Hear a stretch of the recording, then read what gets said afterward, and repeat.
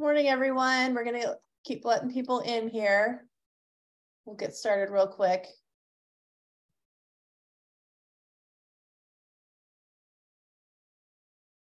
We lose Brady. Oh, there you are, Brady. I, I lost you for a little bit. Good morning, everyone.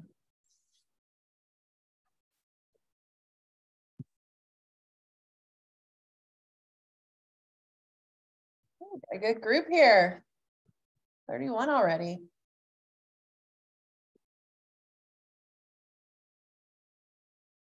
We'll get started here in a couple minutes.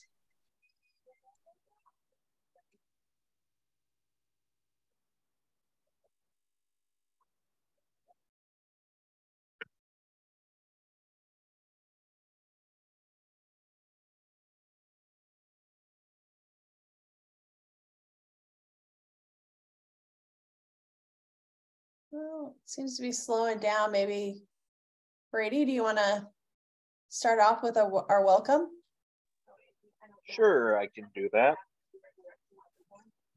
Good morning, everybody, and uh, welcome to the January 2023 Capitol Chat. Uh, my name is Brady Werner. I am the chair of Iowa Developmental Disabilities Council, and we are glad to have you all here with us today. Um, I do want to apologize. Uh, we weren't able to provide a interpreter to attend this today. Um, so if you need to follow along and can't hear, please feel free uh, to uh, follow us with the closed captionings. And we hope the next time we meet that we can provide that interpreter for you. Um, we have several different things for discussion today, a lot of different topics. Um, so um, after we talk about that, we would love to hear from everybody to see what their thoughts and opinions are. Uh, remember, if you don't voice what you feel, um, you know, the whole point of these meetings are to um, educate people on what's going on here and and advocate to make change. So um, just encourage people to speak up so we can make that change. So, Brooke, I'll hand it over to you. Thanks, Brady. And I think I'm handing it over to Carlin. Thanks, Brooke, and thanks, Brady.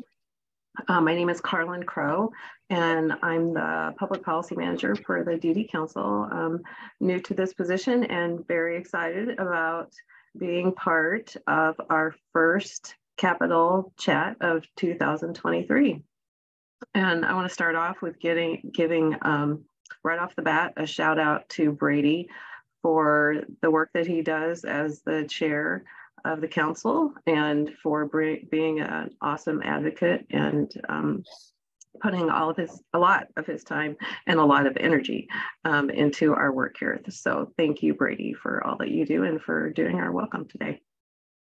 Um, we have a full agenda today and um, the experts are actually coming up after me. But we thought we would first remind you about um, first the capitol chats which are monthly um, the fourth friday of every month um, at 11 a.m.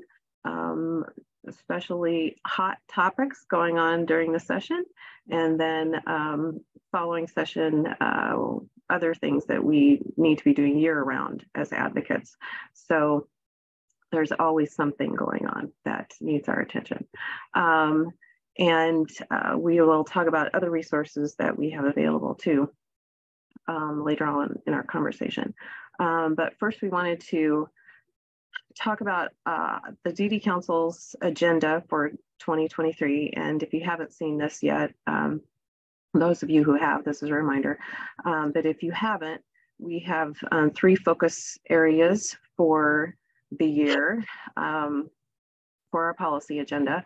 Um, many of them are uh, similar to what we had on our agenda last year with some refinements.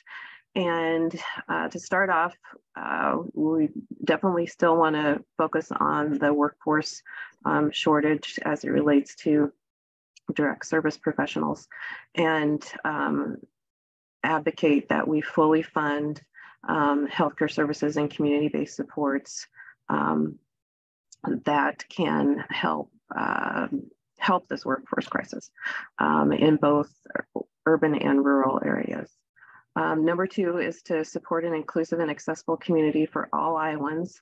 And this may sound um, kind of broad and uh, it's meant to be a little bit, but this um, particular focus area would cover things like um, the adult changing tables that were a big focus um, last session. And also one of the topics that we have been talking about this year, um, which we will probably regaining or gathering information this year and seeing if there's um, something that we might be able to work on um, in coming years are issues that surround transportation. As we know, this is a, uh, transportation is a challenge and a barrier um, for many people who need to get to work or to get to activities um, and sometimes especially in rural areas. So um, we, will, we are gathering and doing some research on that. So if you have information that you'd like to share with us or a story, um, please let us know. And um, third and, and last but not least, uh, um, obviously is to um, reduce the, or re remove, we would like to remove the waiting list for home and community-based services. Um, and this is a little bit uh, challenging right now because um, we know that the state is taking a good hard look at um, Medicaid waivers and um, based on information that they've gathered and surveys, um, trying to come up with a plan um, for waivers moving into the future. So um, our agenda is a right now a monitoring agenda where we have not introduced specific um, recommendations.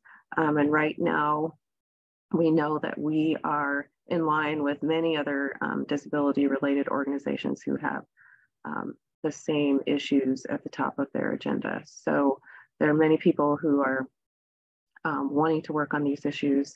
And um, Amy's going to tell us a little bit more about how these might be coming up, or if they will be, and um, what we are working on in the meantime.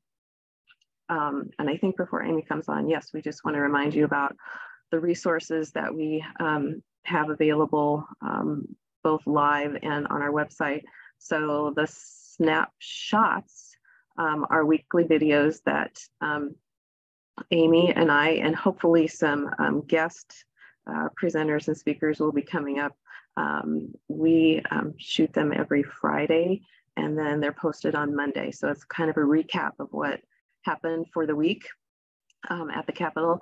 And Amy always makes them entertaining. So if you, you want to join just for that reason. then we have these monthly chats um, the we'll talk a little bit later about the bill tracker and the Take Action Center um, public forum calendar, so you can um, attend forums in your local um, community. Um, our legislative guide just um, came out in hard copy. I'll show you what that looks like. It's really nice. it's also online, and it's very helpful to see who your legislators are and who the um, leadership is of our House of Representatives and Senate and um, um, exec executive branch leadership also. So uh, great resource there. And we have our advocacy toolkit online. And also um, we have five groups who will be um, getting grants to come to the Capitol um, this legislative session and um, do an advocacy day. So we're happy to support other um, organizations who um, can come from across the state and advocate for our issues and also their priorities. So um, we will touch on these a little bit later, but moving on to, I want to introduce Amy Campbell, um, our I think we call her our eyes and ears and feet on the ground and everything else at the Capitol and, and true expert on um, what's happening so Amy, take it away.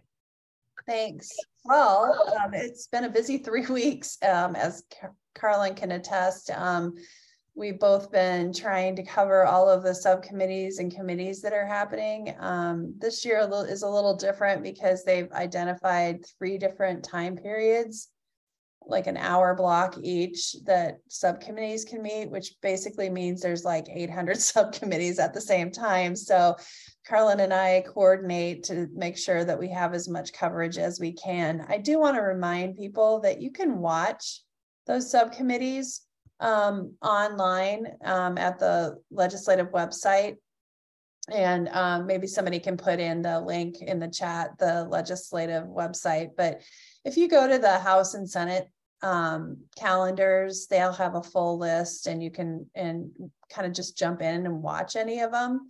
Um, you can watch committees, um, but I always think it's nice to to watch how other advocates talk about an issue in a subcommittee meeting because it kind of gives you an idea how people communicate their um, their concerns or their uh, support for a bill. Um, in the Senate, you can actually participate from your computer.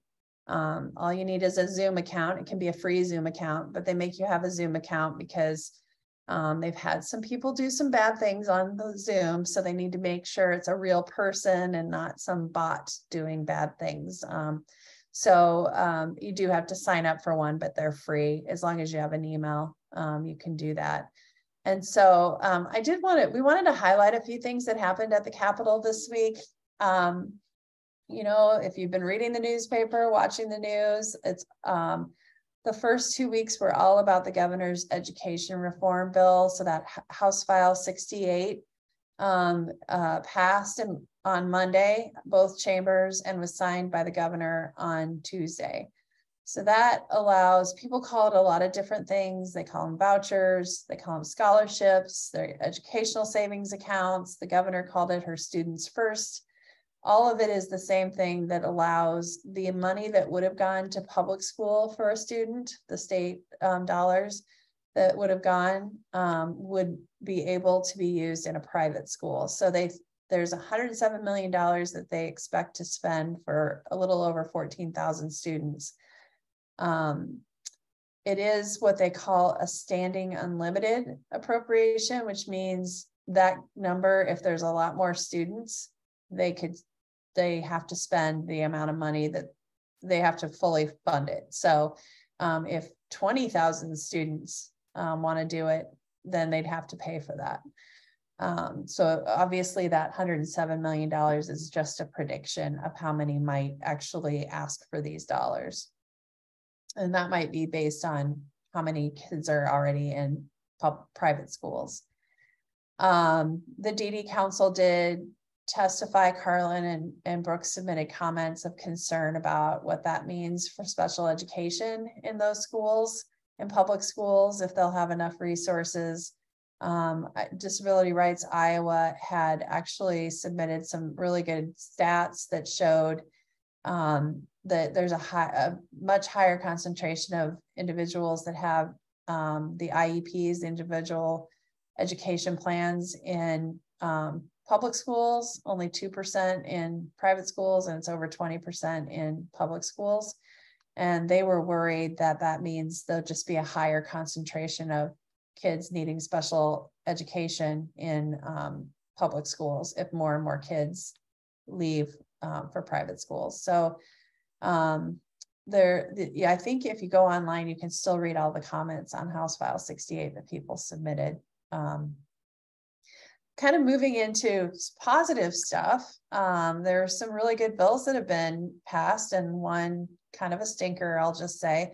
Um, Post secondary transitional grants, that's a long word for saying they're basically um, like scholarships for individuals, um, 18 individuals with disabilities um, that are young adults, like 18 to 21 or 23, I can't remember, Carlin.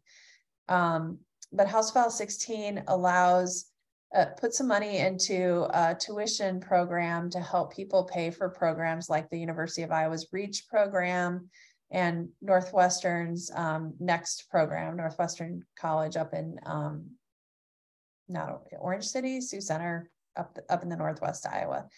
So Reach is a four-year program, Next is a two-year program, and the tuition's pretty high. It's over thirty thousand dollars at University of Iowa, so, and that doesn't include room and board. So these, this um tuition program could uh, really help offset some of those costs for families that want to send their kids there. Um, and that is done by Representative Ingels. It passed out a subcommittee this week, and Carlin, whose son is in the program, was able to talk about it both from the DD Council perspective and as parent perspective. So that was very helpful. And um, Representative Ingels, who is from Randalia up in Northeast Iowa, he his his daughter went through the program, so he also is a big advocate for that.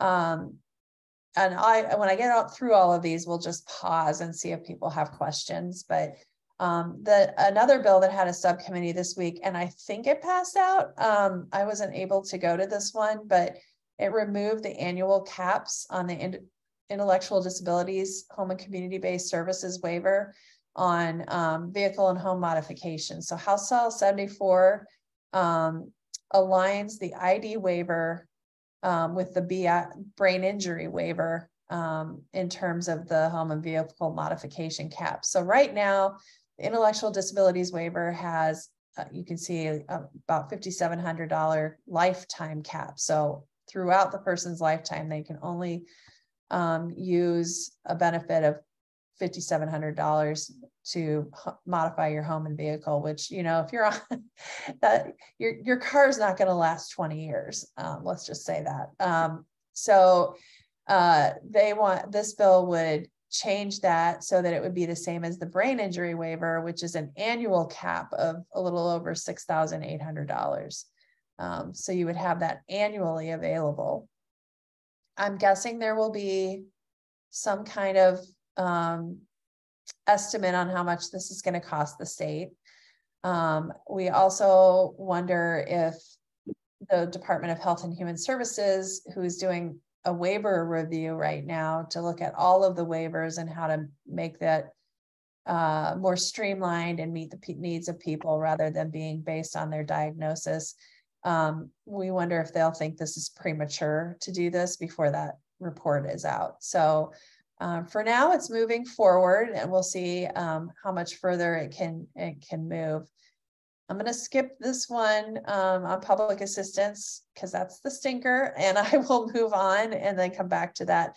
But um, there is another bill that adds a new waiver, um, the Home and Community Based Services Autism Waiver. So it would require the HHS to go and apply for this waiver. I again think maybe they will say this is premature based on our review of the waivers right now, but um, it has not had a subcommittee meeting yet. Um, there's also a bill that was introduced by a Democrat, so it's probably doesn't have a whole lot of chance to pass, but it's a good bill that we wanted to highlight, House File 130. Um, and that you recall uh, we the over the past couple of years there have been some voting changes and one of those was moving our early voting period so when you can mail in your ballots and when you can go in in person to vote early um, to 20 days, which has been very challenging for county auditors to mail out the ballots and get them back before the cutoff, which is election day.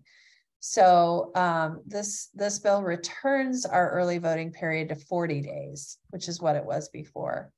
Um, and before it was even longer.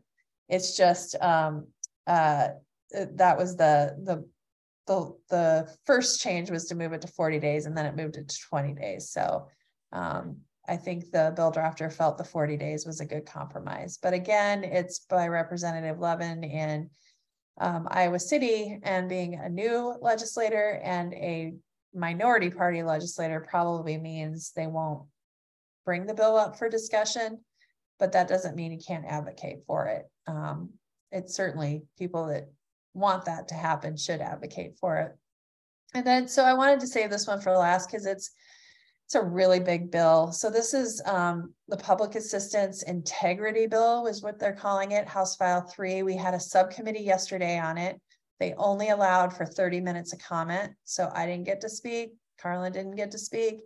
Um, and uh, but there were two individuals with disabilities that did speak very eloquently about this bill and very passionately. And so we'll talk about that a little bit later. But um, this bill is a monster. It has a whole bunch of stuff in there, and it's all intended to make sure that people who are don't don't um, qualify for public assistance, so food assistance, um, the SNAP program is what that's called, um, and Medicaid, and the family investment program. So um, anything that's like a cash benefit or a benefit from the state, they um, want to do a bunch of different tests and they want to do a series of them four times a year. They want to test all assets. So if you own more than one car, your second car would count as your assets. Um, they want to know if you own uh, what you own and add that to what um, your assets are. And basically, if they're over a certain level, then you can't don't qualify. And so they want to do that for all public assistance programs, and they also want to start adding what they call community engagement. Um, some people just call it work requirements. They call it community engagement because they also allow somebody to either work, go to school, or be in a training program, or um, or um, volunteer for 20 hours a week to qualify. And then there's some things that would exempt you, um, like if you're caring for a child with a disability. Um, however, it only says child, not an adult. So if you're caring for your adult child with a disability um, and you're not being paid for that, um, you that wouldn't qualify as an exemption to work. You'd still have to work. It, it also, if you're caring for uh, like a parent that has Alzheimer's or a dementia, that wouldn't count. So I know they heard a lot of comments about different things that would qualify for work exemptions. They also have a piece in there that requires anybody getting food assistance to work, and there are no exemptions. There's not, they don't allow any waiver of that. Um, so I think that is a bit concerning for people too, especially with all the food insecurity right now and how much, you know, um, all food costs. Uh, we've all seen it in our grocery bills. So there are a lot of groups opposed to this bill, including the Iowa DD Council, um, Easter Seals. Um, there are a lot of partner groups that are also opposed to this. Um, there's going to be, they moved it out of subcommittee there's going to be a large amendment and there the subcommittee members are still asking for input on that. So I would encourage you to talk to your legislators about your concerns with that too. And and I I can put in um, later in the chat um, who the the subcommittee members are. Um, it's it's Representative Jeneary, Tom Jeneary, Representative Ann Meyer, and Representative Beth Wessel Kroeschell, and they're actively seeking comments on that bill and changes that they can make to make it better. Um, the last thing I'll say about it is I we have not heard from the department yet, but the Department right of Health and Human Services right now participates in a national as, uh, uh, verification program. So and it's free. Other states use it too, and they check national databases to make sure somebody still qualifies for Medicaid or or food assistance. Um, and they check that, and it's free to the state. But this bill would say you have to not do that anymore. You're going to stop doing that, and you're going to pay another company to do the same thing.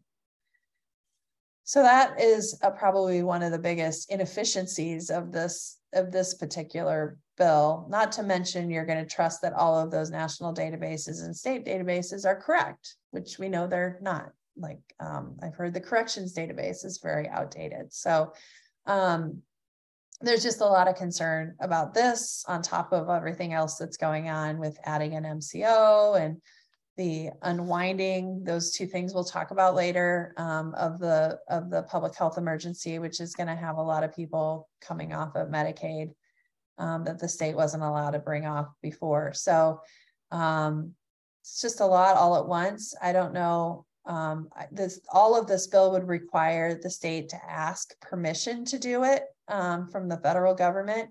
And I think there's a lot of people that think the federal government will not allow that. So um, it, it might be it might be more messaging than it is actual policy, but um, I think it's still pretty concerning to a lot of people. So I will stop there for questions, or if there's something on that I don't have on this list that you want to talk about, um, go for it. Amy, we do have a question from Jan. Um, so elderly people, people that are considered disabled or 100% unemployable through Veterans Affairs on SNAP would be required to work according to the way the bill stands now. Yes.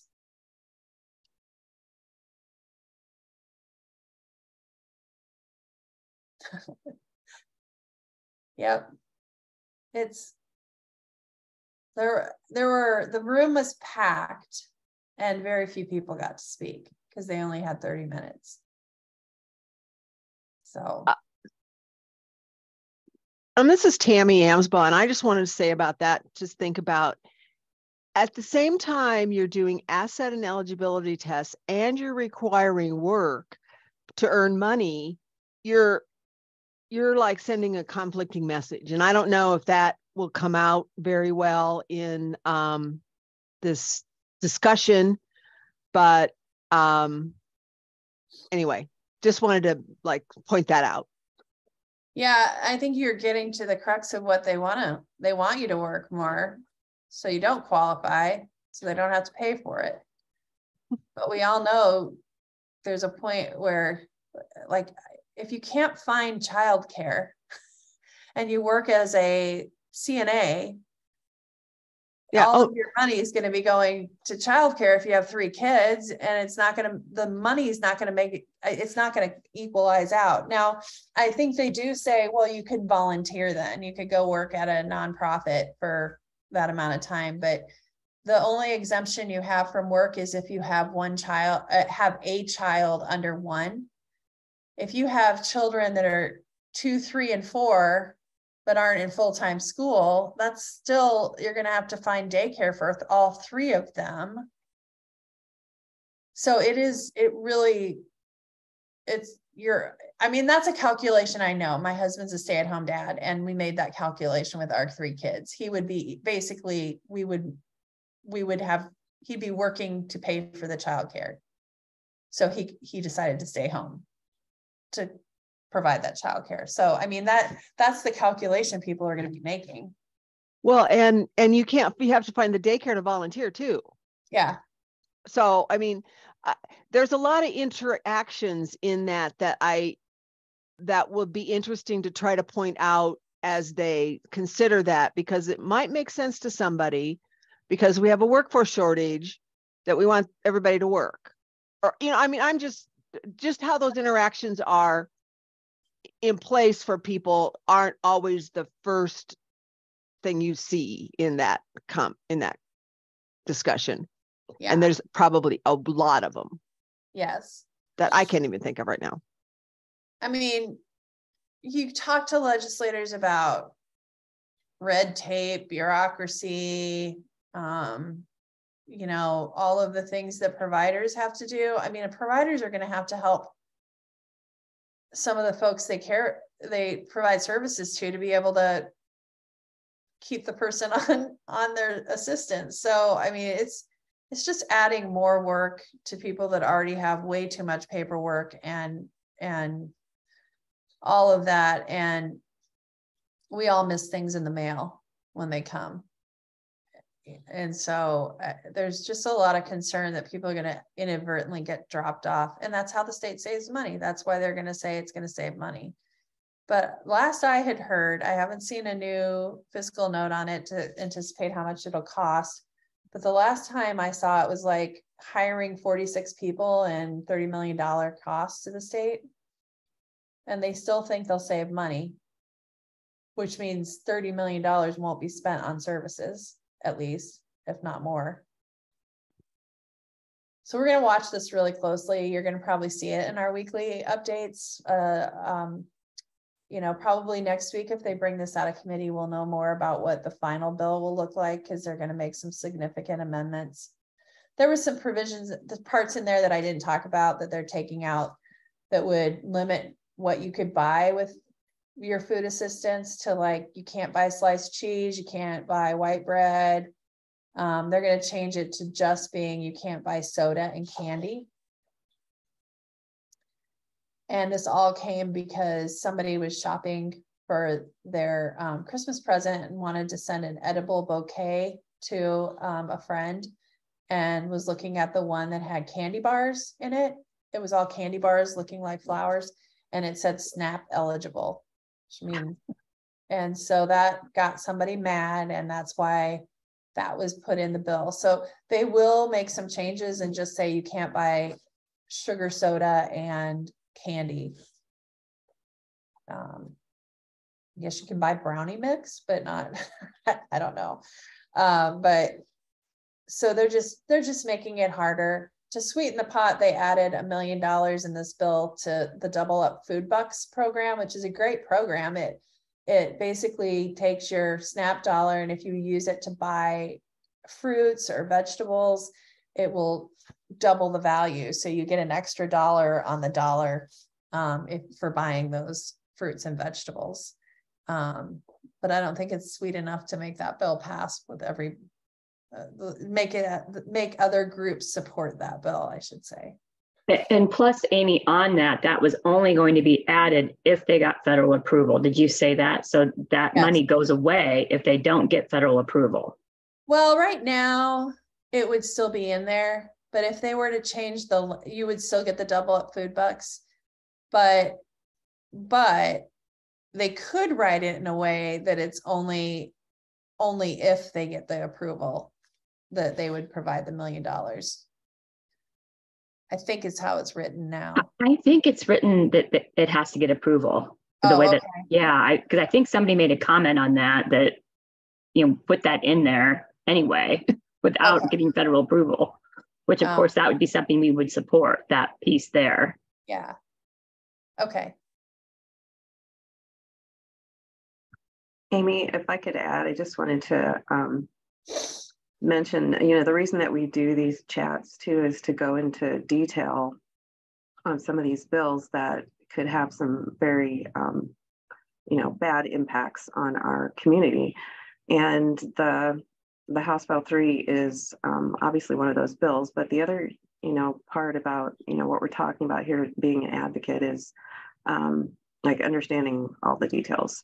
The if you just you know read what's in the media about this bill, you'll hear it's the SNAP bill, um, or you know what what uh, was reported heavily was the food limitations that came out initially um, that are actually still in the bill. But this is you know they said they were going to amend that out.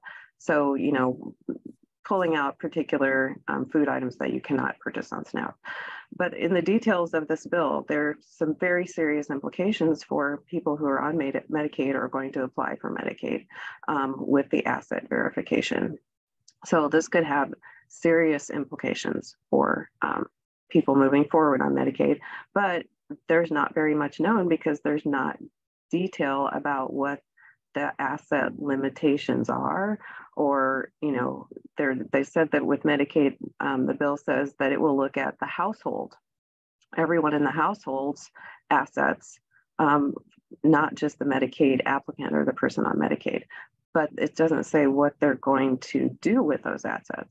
So um, as Amy said, I mean, this bill is a mess. And, you know, if you, if, probably if you read the media today, I mean, I read a news story yesterday that said something about, you know, food limitations bill removed. Well, the, the bill was not removed. It was just those very, you know, um, few requirements that were, you know, the highlight of the bill because it was so, uh, you know, something that we just couldn't imagine happening. And that's what the media picks up on. So um, that's why um, we have, you know, we're going to be obviously monitoring this very closely, but also, as Amy said, we're not even sure if um, this would pass um, with, uh, you know, there's going to have to be um, authority to do this from the federal level. Um, and we're not even sure if that's going to happen. But in the meantime, this is one to focus on if you are contacting your legislator um, because the effect on the disability community could be great. Yeah, I think you're really gonna, you probably will start to see some action alerts coming out from us on this once we see what the bill actually is um, and what the committee is planning on doing with that. So stay tuned, but you can always find stuff on our bill tracker, the links down there. Um, we do uh, did make some improvements to the website this year. Um, some screen readers were having trouble with it. Um, so we were able to get that um, more uh, an accessible version. So if you have a screen reader that's having trouble reading it on the website, there's a button you can click to make it um, more accessible for screen reading. And we had our wonderful Mike Honig from over in um, Eastern Iowa used to be, well, he's still at the USAID, um, kind of. he were, retired and then came back um, um, take a look at it for us and um, verify that it was working okay. So, um, but that does, we add new bills every day. You'll be seeing bills added, um, you know, as we move forward in the session. Um, but we add new ones every day. And then we also, it, it has an automatic update of the of the status so you can see votes on it. You can see where it's at in the process. Um, and I just want to warn people that when you see House Study Bill or HSB or Senate Study Bill, SSB, those bill numbers will change. And sometimes House file and Senate file numbers change as they move forward. It's just a mess that they do that. But um, study bills always get a House file or Senate file number after they get out of committee. And then sometimes the committee will pass a bill and want to change who's the sponsor and make it the committee that's the sponsor. And that triggers a new bill number too. So it's it's a quirky thing. So don't don't get hung up if a bill changes numbers or why it just happens. And um, you know, sometimes it's for a real reason. Like if if you have somebody that supports that introduced a bill like the public assistance bill, House File 3, and maybe you take a bunch of stuff out of there and you only are left with the double up food bucks um, the original sponsors might not like that. So they they'll change the bill number to say it's a committee bill instead. So that's that's kind of why that happens but um, we will always have that in the bill tracker the new number but it will say in the description um, successor to or form or this bill was house file 3 just so you know, um, know that. Amy, we have one more question before we move on. Um, could this bill override the state's ability to disregard parental income when applying for an HCBS waiver? Don't know the answer to that. Um, I think that would also require obviously federal approval yeah you'd have to get federal approval on that and and when i say the state would have to get federal approval the feds always have a comment period during that too so people have an input into that decision making i i don't know and i will follow up on that. Who asked the question? Just to make sure. Paula. Conley. Okay. And I think that's where you know we were talking about the the language is vague when it talks about um, looking at assets. So um, that's why I think uh, there's a lot of things that a lot of unknowns here that we can't not sure what the effects are. yeah, because some, some things apply to the only the health and wellness plan expansion people, and others apply to all. But the asset tests apply to all, so that that's where it gets confusing. The work requirements are just health and wellness plan, but the asset tests are for everything. So that's a good, that's a very good question. And all, again, all of this is a state plan amendment that would have to be approved by the federal government. Which I don't see that happening with this group, but with this Biden, with the Biden administration, but I, you never know. So um, I think that's a good question and we will, we will get the answer to that. Tammy also um, wanted to put a shout out for the Action Center, um, and she contacts her reps on that. But she wants to know what you you suggest for contacting the committee members who may not be from her district. So I we have a quirk in the Action Center. I can't really um we haven't been able to if you're not from that person's district, you can't really email them through the Action Center. So um, you kind of have to do that on your own, just email separately. But um, one thing I always suggest people do is when they do register or email their legislators to ask them to talk to their friends and colleagues on that committee because that's one thing you can ask a legislator to do is advocate on your behalf with their their um, fellow legislators on those committees um, but they are, I, would say in this subcommittee in particular, they have asked for anyone, not just members of their district, but anyone to submit comments. So they are asking for those comments.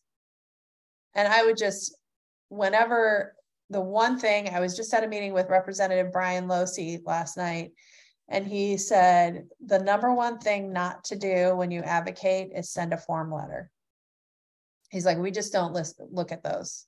Now, that's all they do on the federal level. Congress base the Congress staff, congressional staff just literally count how many pro and for and against contacts they get. So form letters are fine on the congressional level, but at the state level here, legislators hate form letters. So I always have that problem when I'm setting up something on the Act Take Action Center I have a little bit of a suggestion in the email, but we always ask people to change that and add your own personal story. Otherwise, they are not probably going to look at it very, very much if it's the same, if they get 20 of the exact same thing. So, um, whatever you do, I think the important piece is to say how it's going to impact you um, and your the and the per people you know or people you serve, depending on. Um, see if I can move the. There we go.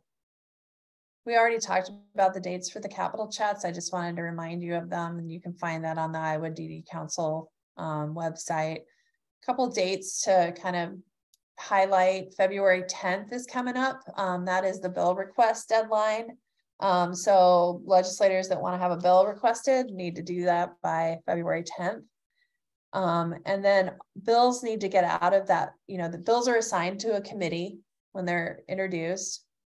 So they're introduced and given a bill number, and then they're assigned to a committee.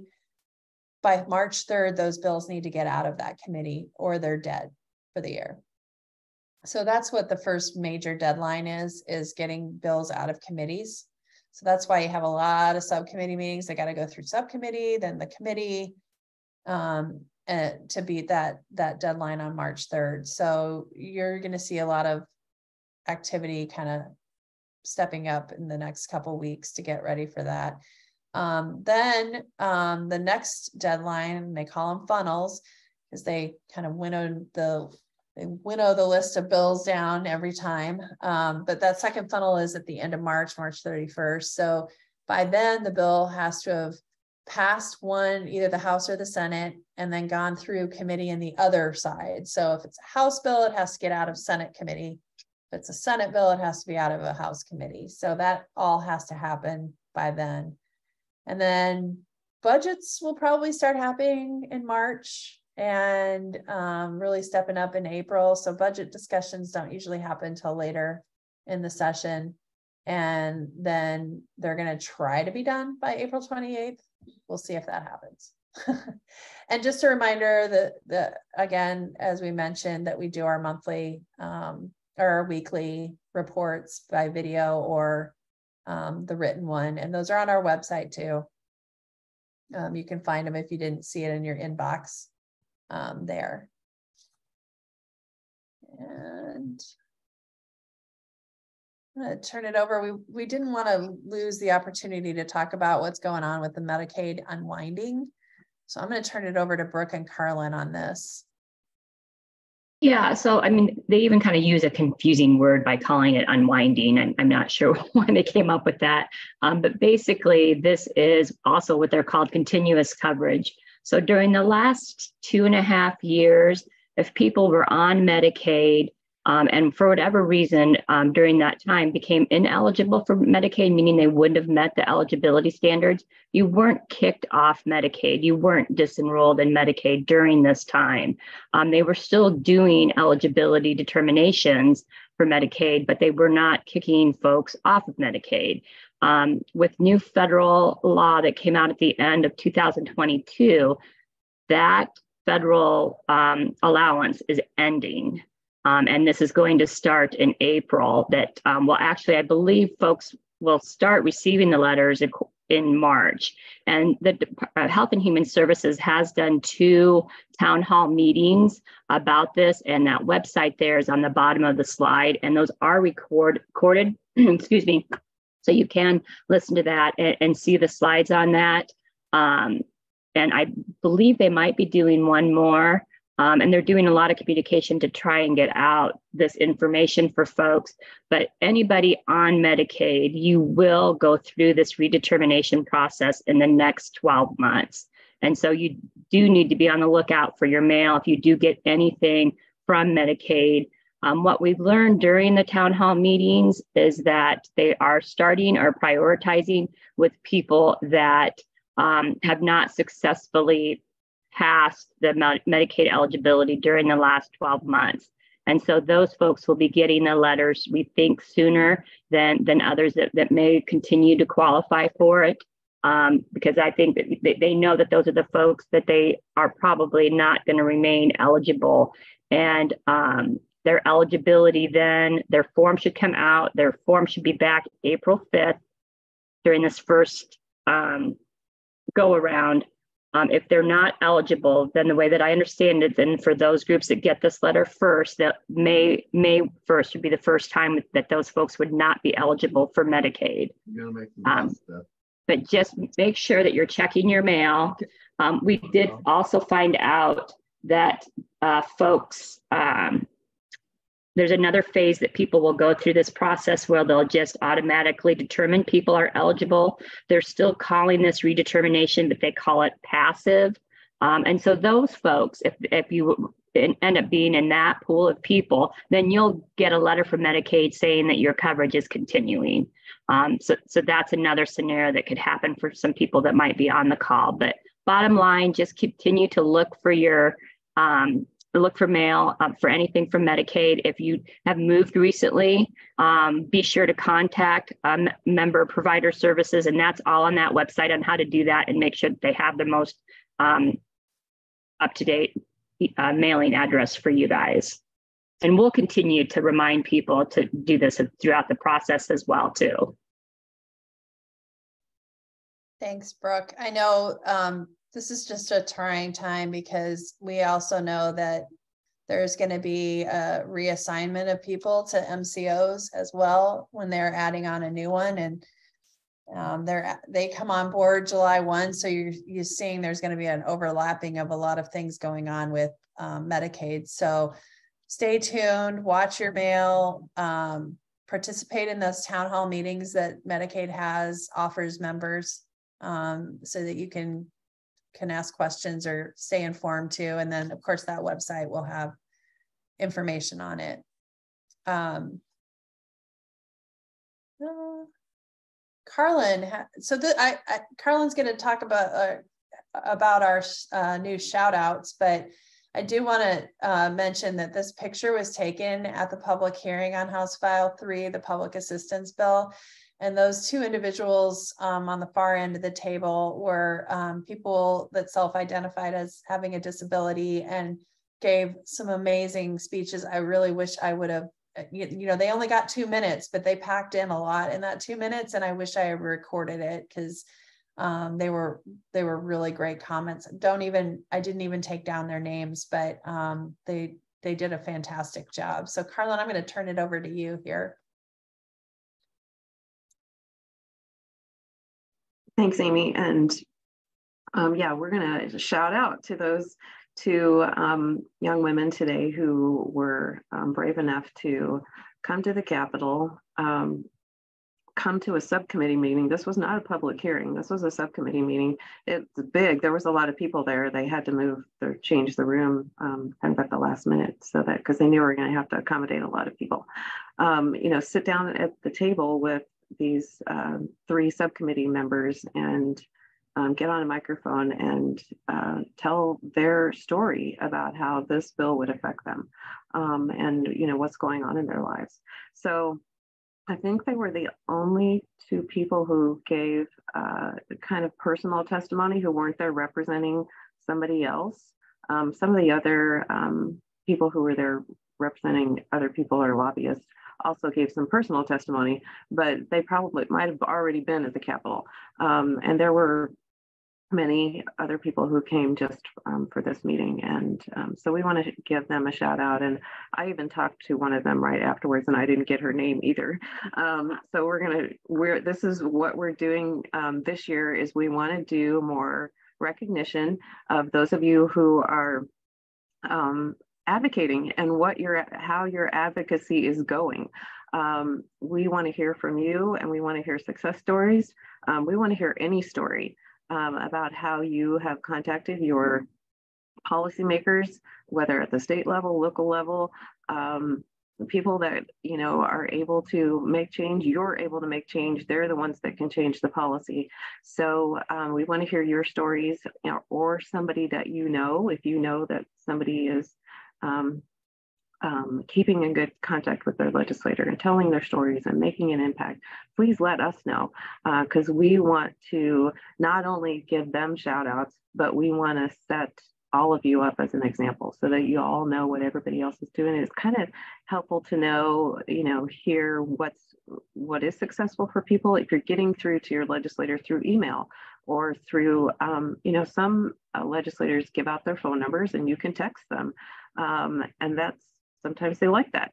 So if that works for you, let us know because we want to know what's working for you and so that we can share it with our community and all of our advocates um, so that we can all be successful. So, so that's our new shout out um, segment that we'll do here and also on our weekly um, capitals snapshots. Um, so share your stories. And we want to also try and end our sessions with um, how you can take action. And so I appreciate um, those of you who asked on here, Tammy, especially, you know, if I'm going to contact somebody, what can I say? And we want to be here to help you with that. Um, also, so as you think about these take action steps, if you have questions or if you need some verbiage or want to know how to say things, please feel out, feel free to reach out to me um, or um, or even Amy or Brooke, and we can get back to you. Um, we might not have the answer right away, but we can get the answers if it's something specific about a bill like Paula had. Um, we will certainly um, find the answers if we can get them. So for this month, though, here's some action items that we want to suggest. Um, check out the InfoNet section of our website. I know some of you are already doing that here today. Um, the bill tracker and the Take Action Center are really um, fabulous at ways to uh, see what see what bills we're tracking or following. Um, and you can click right on them, read the bill, um, go right to the legislative legislative website, which will show um, where the bill is going, if the number has changed, who's on the subcommittee, who's on the committee, if it passed, um, so it's a it's a way to um, get to the legislative website very quickly, but also shows you what we're monitoring and what's happened with it, what's happening with things. Um, and then the Take Action Centers where you can contact your legislators. So um, they're great resources and we hope you will um, take advantage of them and share them with your friends and family. Um, also about House File 3 um, as Tammy asked about, you know, maybe what can you say if it's um, not your your um, um specific legislator? Um, I think at this point, you know, we want to make sure that they're aware that this bill could have very serious consequences for um, people with disabilities in Iowa. So um, we want to just at this point say, you know, we're looking at ways that Medicaid can help people um, during uh, with their health care and provide the services that they need to be, you know, functioning members of um, their community and and stay in the community that they want to stay in um, and get those services and um, healthcare services that they may need. So, you know, the way this bill looks is that that's going to make that more difficult. And so we're looking for solutions, um, not ways that we were going are going to reduce services for the people who need them. So at this point, um, because we know the bill is going to be in transition, um, we just want to make them aware that we have concerns about uh, the effect um, on people with disabilities. And um, there are many others who do too. So it's not like this is um, a hidden bill. This is very much um, on the forefront and they'll, they should know what you're talking about. And, um, you know, feel free to tell your story or, you know, your general concerns um, about the bill. And another way that you can express those uh, concerns is to attend a local forum. So usually on Saturday mornings, um, a lot of uh, communities will have whatever legislators are serving their area um, have a public forum where you can go and um, and make comment there, and they'll talk about what their priorities are and what they're working on, um, and you can come and talk about yours too. So it's a great way to connect locally and get your face in front of them and have them hear your name and get to know you better and you can get to know them better too. So um, there is a list of those on, is it on our site right now? I missed that one. I yes, looking. I was just, I, I was going to share the screen here to try to show you where they're at on the website. So if you go to our website, the Iowa DD Council, are you seeing my screen, my desktop? Yeah. Yes. Okay, if you go to the Iowa DD Council, it's on the front page down at the bottom, down here, um, the calendar. So you can just click on one and it'll tell you who's there and where they're at. It doesn't look like that one has an address, but every week I'm sending out, um, this one has the address.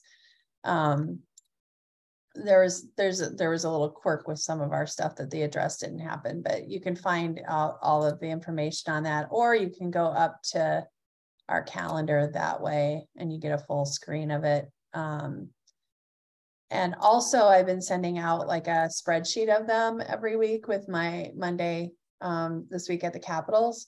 So you'll have the option to either link back to this page or get, um, you can click on it and get a two week spreadsheet of um, all of them as well. So, um, but yeah, some of them you might have to hit show all because there's a lot of them on, on Saturdays. As you can see, that week has a whole bunch, but, but yeah, it always should be at the, at on the front page. You just have to kind of scroll down all the way to the bottom to see it. I go to every one of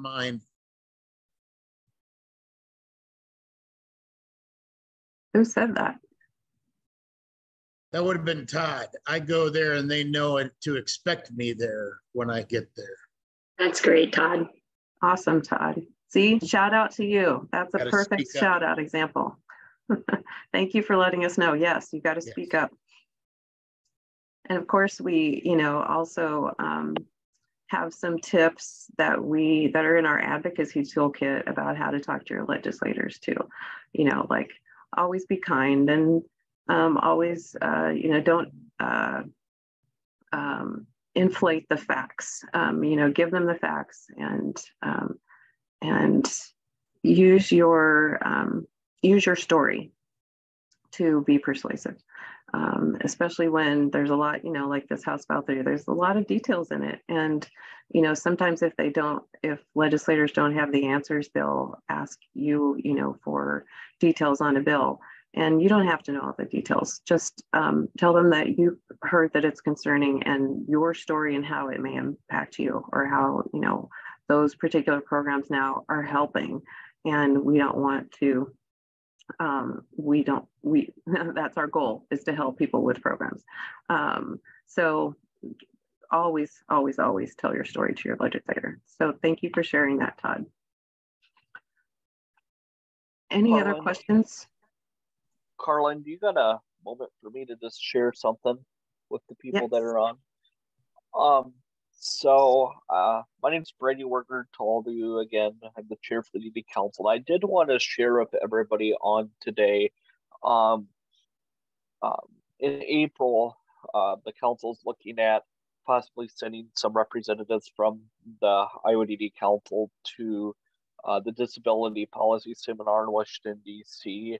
Um, it was scheduled according to my email in March, but it looks like they're going to push it back due to some hotel issues. Um, but I did want to um, just kind of put the bug out there to everybody that's on here today.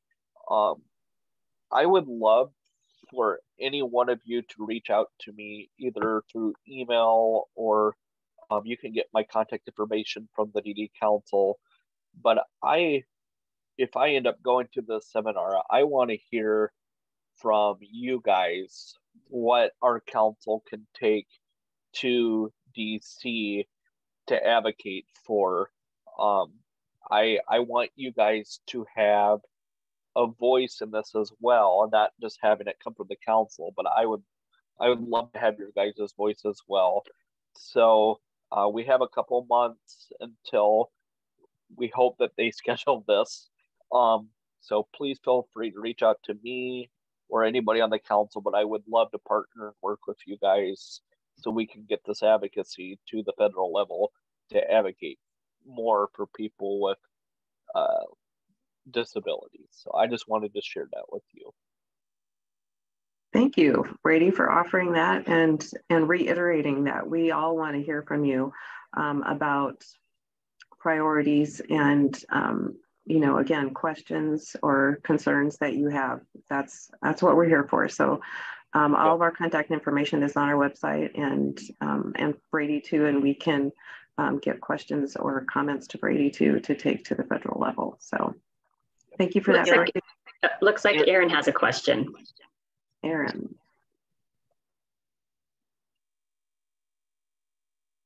Aaron, did you want to take yourself off mute? Okay. Um,